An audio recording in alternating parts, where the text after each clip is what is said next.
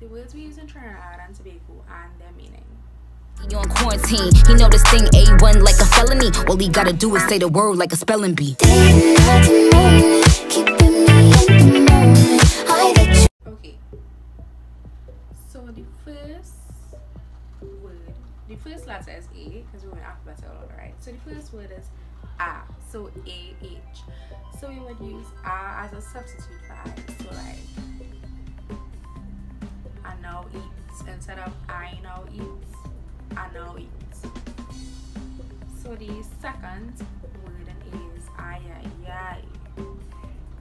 So that would be an exclamation meaning anger or joy depending on the tonal inflection that you use. Tonal inflection means how your voice sounds at the end. So you would say ay ay ay and that would mean maybe somebody is stressing you and you'd be like ay ay ay or it could be like ay ay ay which means joy like if probably if you get he was waiting on his last week.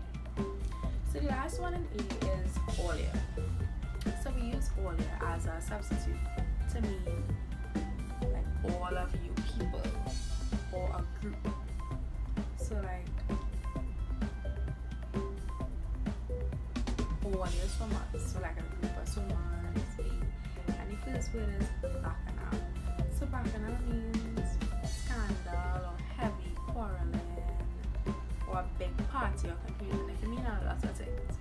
So if a husband and wife fighting right through or quarreling, Yeah. If a husband and wife quarreling and they fighting, you would say, wait, look at bacchanal, that's a big confusion. But like it could be also like a party, like a party could be a bacchanal, a joyous thing, just a fun environment. You know what I mean? Try the AirPods that I was telling you about to see how it's on. It's really cute. right. So I was talking about um right, so back now. So the next one is back chat. So this is um usually like a in West Indian because you know Trinidad and Tobago is in the West Indies. So usually West Indian parents, which are parents that come from the Caribbean, if their child responds to them rudely, they would say the child give them back chat. So when they tell you something and you tell them back something and you give them back chat to them, you give them back chat, which is a big thing in West Indian culture and in our culture. I hope you all are hearing me because we get have to refill this. Next one is behind but we would say behind drop the last final consonant, right? Well, I'm saying like that because I did linguistics as my degree, but yeah, we would just drop the D and say behind instead of behind. So, or the, we would say behind going back, not behind, but behind going back, which means already far place. So, like where I live in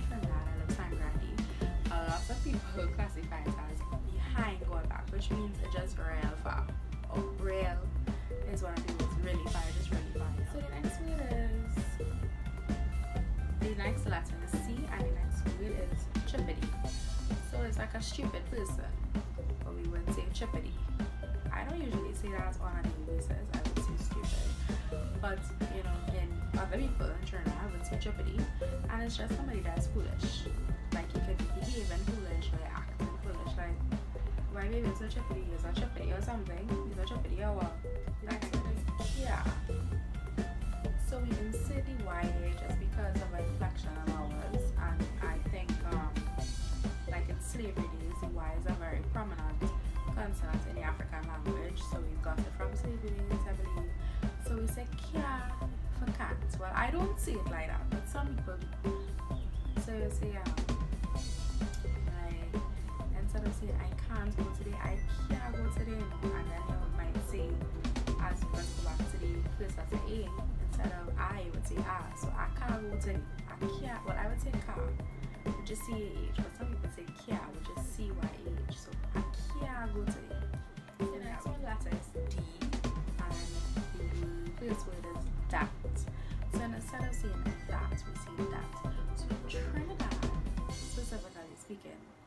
We rarely say th words unless it's a professional setting like if we're giving a group presentation if we're talking to somebody important if you're trying to song um i guess properly and respectful you would say this that three but usually we drop the th tree this so for certain words we would say duh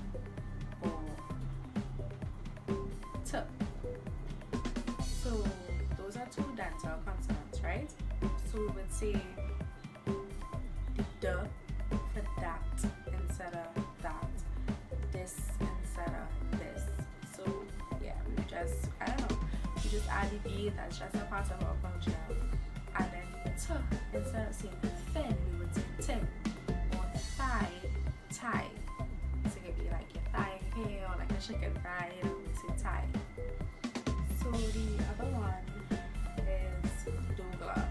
So I do a Dougla person is a mixture of East Indian and African heritage, right?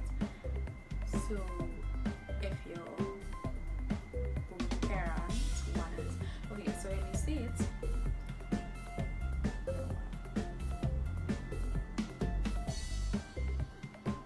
Well, it's just like in the states, I have children that have one parent white, one parent black, like down here we have well we have many others one parent is african and one parent is of east indian descent. And that is combined the child is a dougla which means they will probably brown skin like browner than me. And might probably have like east indian mixed african hair or you know and so it's a picture of a penny of doodle two doodle and the last word in D is dotish. So dotish, that word means like if you're acting silly or foolish or dumb. So we would use trippity or dotish. Um think we use I just use dotish but see like I would say you're dotish or something. Why leave it so dotish?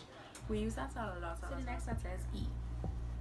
And we would say one the first word is eh meaning like what did you say so if somebody say um you going to the grocery today eh that's probably like if you're doing hair and I'm all like you can use it like in an atmosphere to be like eh like you talking to me uh-huh.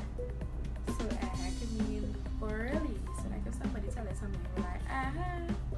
I think this this has um two non inflection in it as well because you would say uh-huh. Last word in use and and I use this word a lot, a lot, a lot, a lot, a lot. I say and for everything.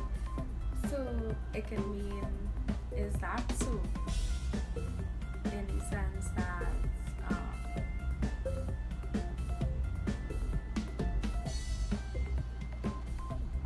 I wouldn't say it's not so scratcher. Um, but it could mean like that's true, isn't it? So like if you're telling somebody you say okay, so I'm just going to speak in my dialect and give a sentence, right? Like uh, a little dialogue. Okay.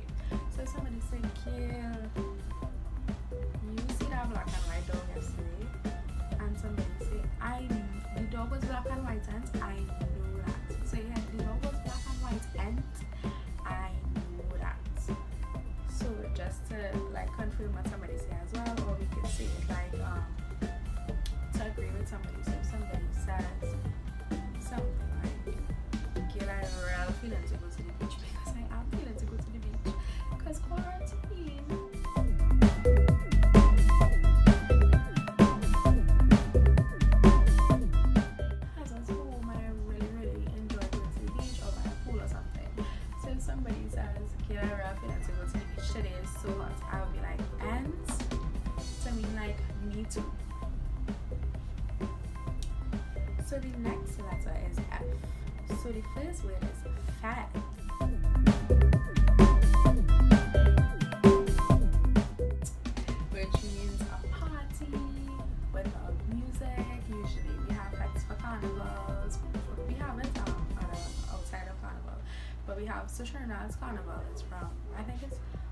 really have a set time, but it's usually between February and March. And we have a lot of carnival fetes around that time.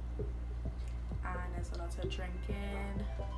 Um, for all inclusives, you have food and drink, and it usually goes till very late in the morning. Love it. So the second in is for true or truth. I don't say truth, but I will say for truth.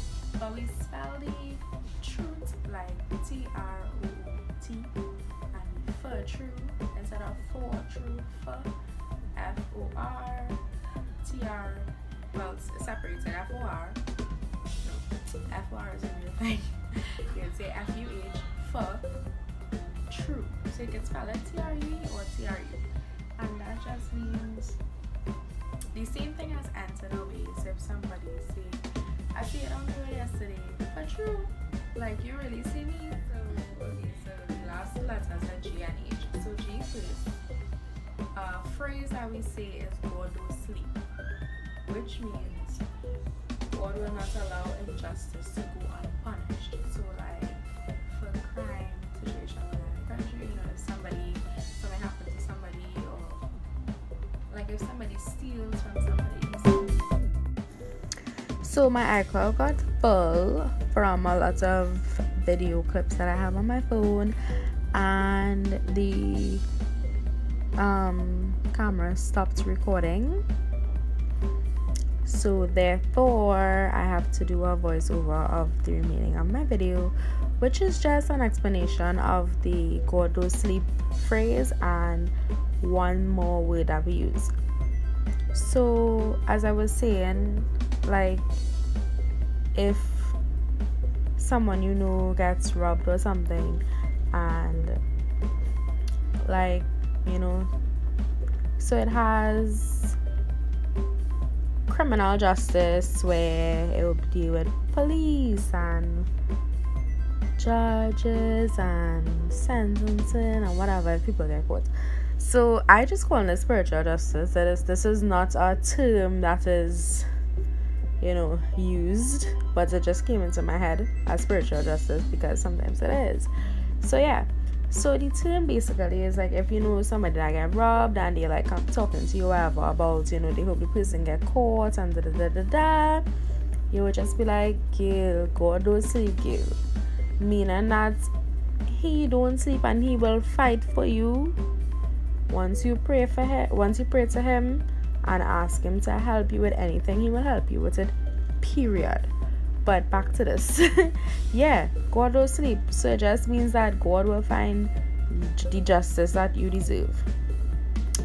And the next letter and the last letter is H. And the word that we use with H, well, one of the words is harden. So harden means somebody that's disobedient or somebody that don't hear well not not here but they don't listen to what like parents you know anybody. It could be a friend could be hardened a significant other could be hardened so how you would use this word is okay so let's say for instance a parent child confrontation. So if a parent is telling a, a child like not to go out somewhere or don't do something and the child still does that, the parents will be like oh gosh you're hard nah. Like you don't listen